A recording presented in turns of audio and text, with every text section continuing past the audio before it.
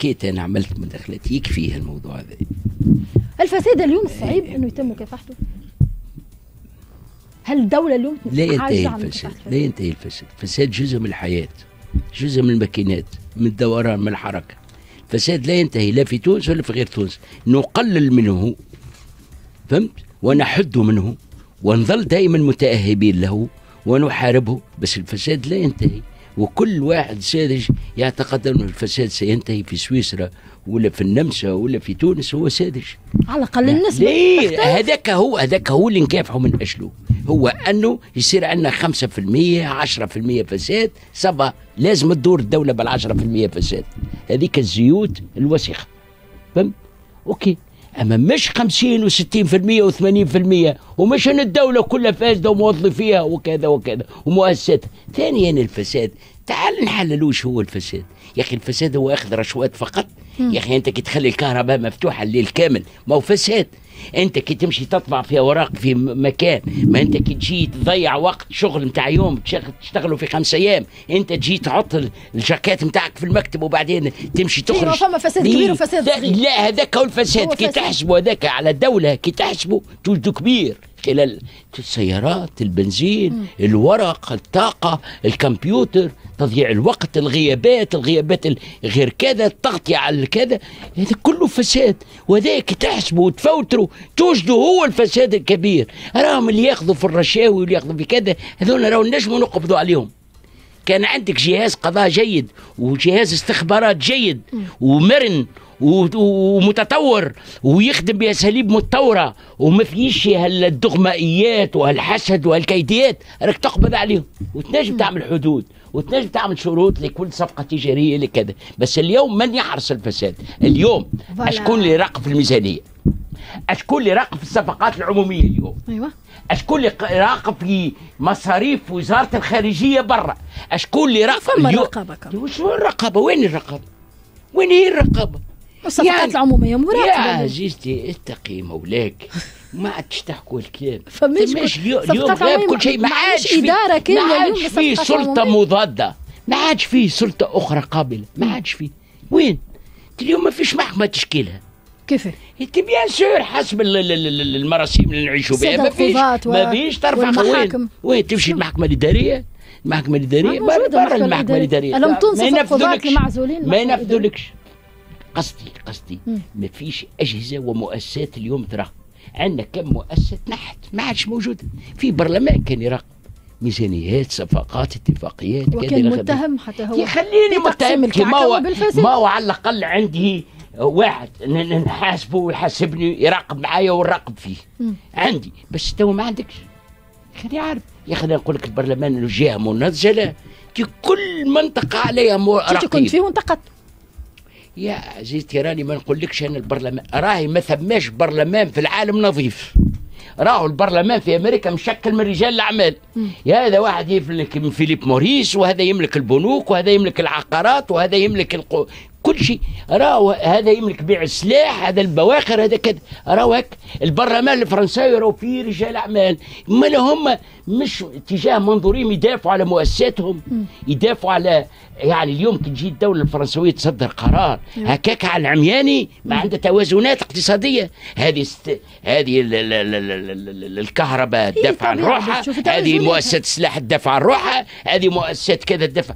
ولذلك تاخذ توازن ولذلك ما عادش تقولوا لي البرلمان فيه رجال أعمال وما فيه كذا. صافي تحبوا رجال. تحبوا يعني تحبوا برلمان معبي بمربي دجاج؟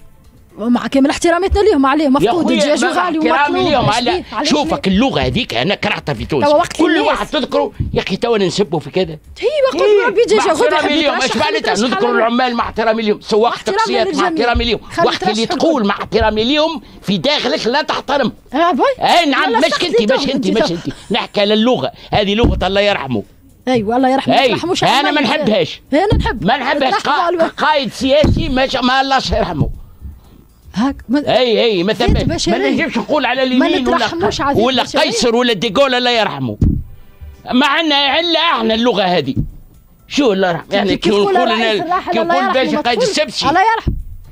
يرحمه؟ رضي الله عنه. يعني علي بن أبي طالب رضي الله عنه. شو معناتها هذه خلينا هذا الفولكلور. التونسي ما يوصل لأي شيء.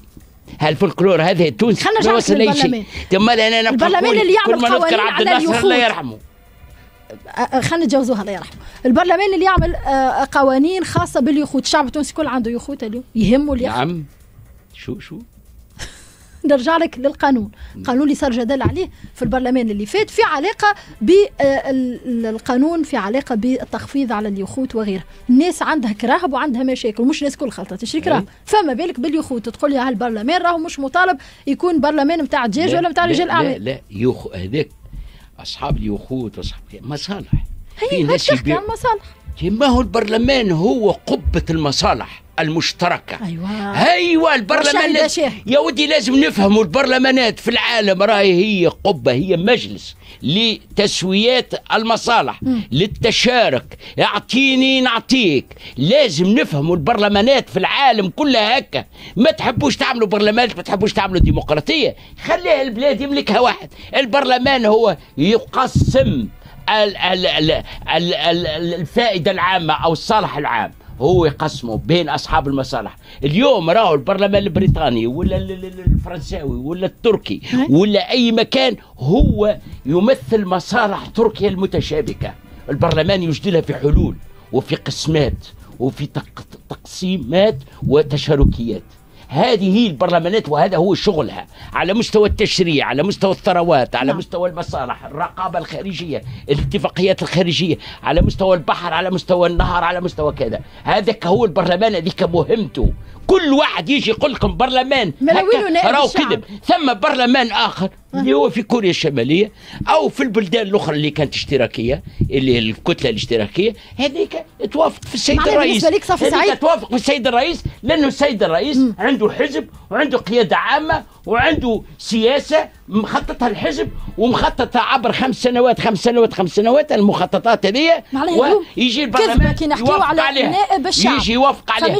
انما إنما البرلمانات في الأنظمة الديمقراطية والأنظمة الرأسمالية الليبرالية نعم. هي تيجي تبدا تناقش وكل شيء من جديد.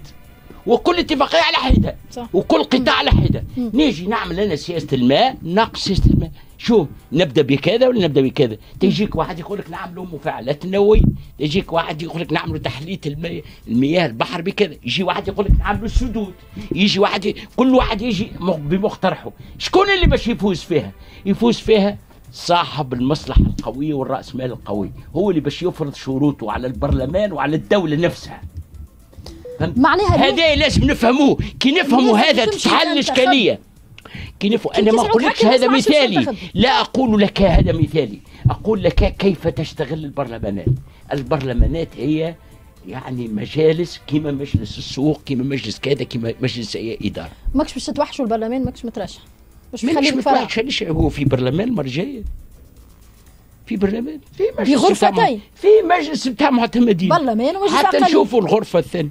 كيما هذا قانون الانتخابات يقطرنا فيه بالقطع قانون الانتخابات يخرج قطعة واحدة. الرئاسة كيفاش؟ مجلس الشيوخ كيفاش؟ مجلس النواب كيفاش؟ ال- ال- ال- الإعلام كيفاش؟ كذا كذا كذا. اليوم هو يعني حصة بحصة حصة بحصة. حتى جينا يعني نشوف الحصة الثانية إيش بتعطي. ما فيش هذا هذا برلمان باش يكون برلمان معتمدين. يعني هم واحد مسميه بيرو دوردر انت سميته هذاك. هو. هو الإعلان عن وظيفة؟ شاغرة في دولة مفلسة. هذا قانون الانتخابات. إعلان عن وظيفة شاغرة في دولة مفلسة.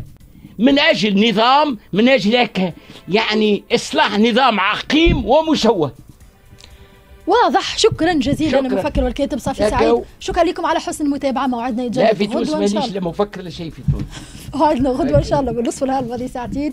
أجمل تحية زينة زيدي وكامل فريق استوديو شمس. بعد شوية الأخبار مع وجيه النمر كرونو سبور وحلقة جديدة اليوم مع محمد بيار في شمس بزنس في الأمان.